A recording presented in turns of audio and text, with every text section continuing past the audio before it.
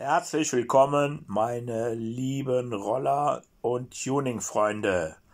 Hier aus der Werkstatt beim Schrauberkönig aus dem schönen Solingen, da wo es die scharfen Messer gibt. So, was haben wir heute? Es geht drum Verschleißkolben Ringnut. Ja, ich hänge euch eben ins Stativ und dann erkläre ich was dazu.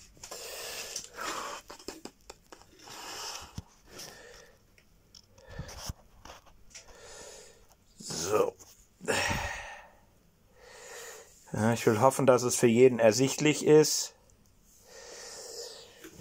So, nehmen wir mal an, wir haben einen Motor, der hat so 7, 8, 9.000 Kilometer gelaufen, von mir ist auch 10 oder 11. Ähm, dann kommen viele Schlaumeier auf die Idee, oh, ja, ich habe nicht mehr so viel Kompression, ich tausche mal den Kolbenring. Leute, das ist der größte Blödsinn, den ihr machen könnt. Sage ich euch sofort. Ja? Und zwar, es geht ja darum, ich habe jetzt hier mal einen Kolben aufgezeichnet. Ja, kann man schlecht sehen. So. Ist nicht ganz so schön, wie ich mir das gedacht habe, aber es funktioniert. So. Wir haben hier oben, hier oben haben wir die Verbrennung. Der Kolben und die Ringe kriegen von hier oben, hier ist der Brennraum, immer einen auf der Mütze. Ja? Was passiert? Jede Zündung gibt es Druck auf den Kolben und Druck auf den Kolbenring.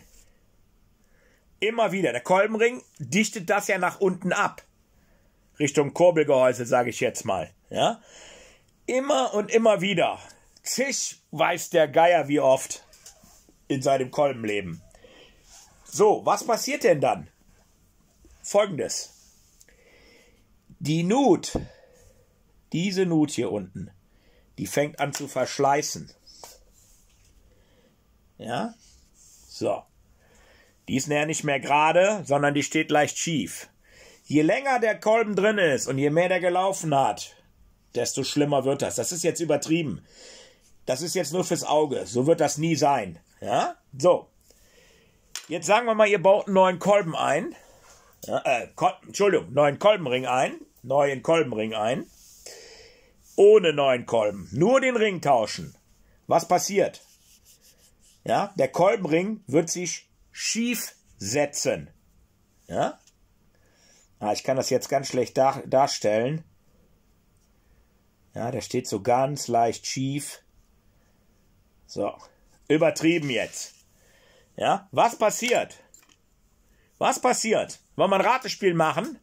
Wenn ihr Pech habt, zerrammelt ihr euch noch den guten Zylinder hier oben an dieser Ecke durch das Schrägstehen des Kolbenrings. Ja? Wenn sowas ist, tut mir einen Gefallen, macht einen neuen Kolben, neuen Kolbenring rein, vorher natürlich messen, ja? Ruhe. Bis der Zylinder dann wirklich verschlissen ist. Ich denke mal, wenn man äh, zweimal den Kolben gewechselt hat, je nachdem, äh, was man für eine Garnitur fährt, äh, ist auch der Zylinder weg. Ja? Also ich denke mal, einmal wird man garantiert den Kolben tauschen können kommt auf Fahrweise an, aufs Öl, auf die Materialien. Ja, versteht mich da nicht falsch, ich bin auch kein Wahrsager. Ja, aber Fakt ist, niemals neue Kolbenringe drauf machen, auf einen alten Kolben. Blödsinn, das dichtet auch nicht mehr sauber ab. Ja, so. Viele machen das. Es gibt auch einige, die haben einen Kanal auf YouTube, die machen das auch. Das habe ich gesehen. Ich mache das nicht. Aus dem einen oder zwei bekannten Gründe, Gründen. Ja? Holt euch einen neuen Kolben. So ein Kolben kostet doch kein Geld, Leute. Ja? Also, selbst wenn ihr Markenkolben äh, kauft, was kostet der? 30 Euro? Lasst mal einen guten Kolben 40, 50 Euro kosten. Wenn überhaupt. Kommt natürlich wieder auf das Räppelchen an, ne? Also auf die Marke, was ihr da fahrt, ne? Ja, das wollte ich euch nur noch mal zeigen und darstellen. Ich denke mal, äh, dass es verständlich war. Es ist natürlich wieder sehr, sehr, sehr trockene Theorie. Ne? Ich habe für euch morgen aber ein richtig gutes Video geplant. Ein richtig gutes. Das kündige ich jetzt schon mal an. Das ist für jeden Laien verständlich und für jeden Laien ausführbar. Ja? Mehr wird nicht verraten. Und Leute, das bringt noch was. Das bringt richtig was. Gut. schönes Wochenende für die Zuschauer, die nicht zuschauen und für die anderen äh, bis morgen. Ne? Tschüss, hier aus Solingen. Tschüss.